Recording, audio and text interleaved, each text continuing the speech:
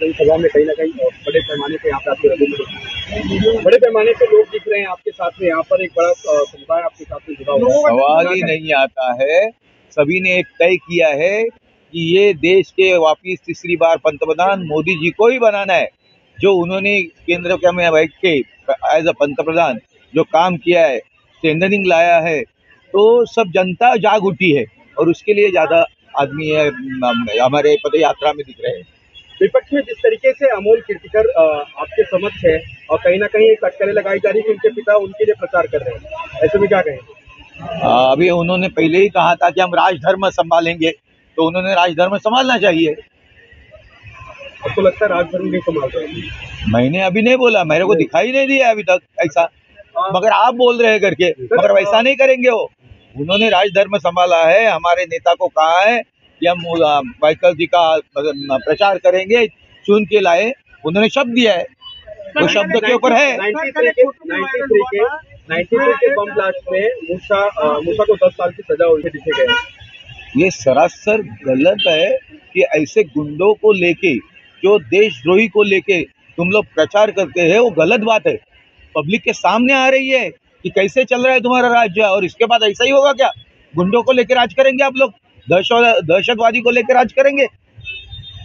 रविंद्र वाइकर अगर जीत के आते तो सर्वप्रथम काम क्या कर, क्या काम होगा मुंबई के बारे में महाराष्ट्र के बारे में जो भी काम है सिविल एविएशन का है गुफा का है उनकी जगह का है मतलब केंद्र की जगह का हमारे ऊपर झोपड़पट्टी बनी है फनेल का कार्यक्रम है मछुआरे का जो प्रॉब्लम है समुद्र के बारू बाजे में तो ये सब सारे प्रॉब्लम है वो तो सॉल्व करेंगे बाकी देश के हित में जो बात है वो भी रखेंगे ना? क्या मैसेज देना चाहेंगे कार्यकर्ताओं कार्यकर्ताओं को, जनता को ये विनंती करना चाहेंगे कि हमें हमारा देश देश को स्ट्रेंथनिंग लाना है संरक्षण प्रगति करना है, महिलाओं की, बच्चों की, युवाओं की, सबकी। और ये काम मोदी जी अच्छी तरह से कर सकते हैं। इसके लिए मोदी जी को लाने के लिए मेरा मत उनको जाना बहुत ज़रूरी है। करके मेरे को आपका होता है, वोट आएगा तो मोदी जी को जाएगा और 400 के अंदर मैं रहूँगा या 400 के ऊपर जो होंगे, उसमें मैं भी एक रहूँगा। डिंडोसी की जनता वायकर जी के साथ है। वायकर जी कोई नए नहीं है। तीन बार के नगर सेवक, चार बार के, तीन बार के विधायक, मंत्री रहे।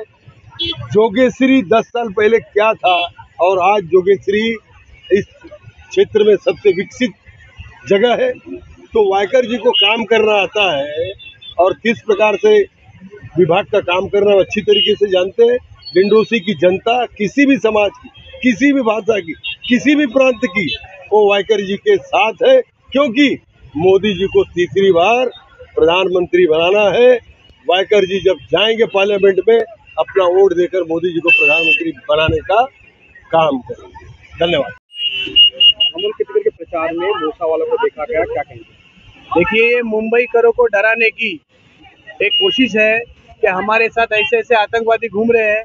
आप हमको वोट दो, वरना फिर से हम लोग कुछ ना कुछ कर सकते हैं। ये बताने की उन्होंने कोशिश की है। उनकी विचारधारा अभी किस तरफ़ जा रही है, वो उनके कल के रैली से वो दर्शा रहे हैं कि अब हमारी विचारधारा इस तरफ़ जा रही है। मैं हमारे डिंडोची के मतदाताओं को आगाह करना चाहूँगा, ऐसे लोगों को वोटिंग करके कल मुंबई में फिर से गलत चीज़ें होंगी फिर से हम लोगों के साथ अत्याचार होगा फिर से मुंबई दहलेगी। ऐसे लोगों को आज से ही दूर करो। ये मैं विनती करूँगा आप सबसे।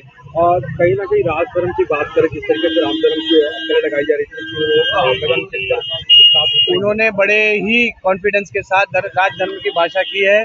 वो अपने राजधर्म का पालन करेंगे ऐसी हम सबको अपेक्षा है। हालाँकि इस मंच पे नज़र नहीं आ रहे।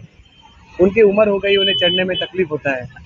समझ के लो आप लोग। दादा दादा छह विधानसभा में सबसे ज़्यादा मेहनत आपको ही करना है।